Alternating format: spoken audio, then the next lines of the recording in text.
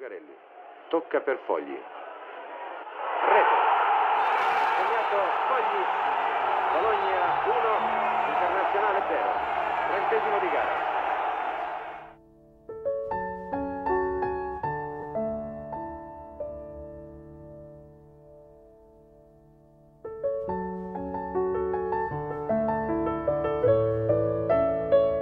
Feci poi un, un tiraccio con l'esterno del piede, passò sopra il piede di Facchetti e andò nell'angolino. Quando Sarti vide la palla passata dopo la barriera, si buttò ma ormai era già... La palla arrivò proprio nell'angolino, tagliata così.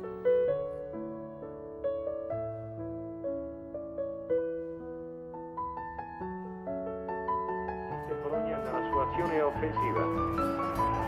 Manovra Fogli. Piazza Nielsen, riceve.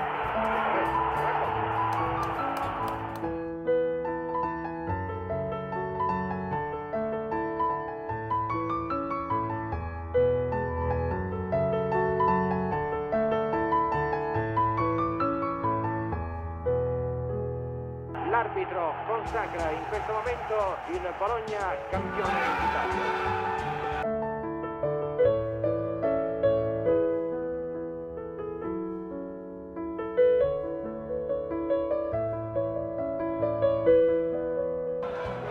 Vinto, commosso dalla fatica, dall'emozione. È un momento veramente importante questo del Bologna che dopo tante fatiche, tante amarezze, tanti contrattempi riesce a coronare questo duro e travagliato campionato raggiungendo l'ambito e agognato settimo scudetto.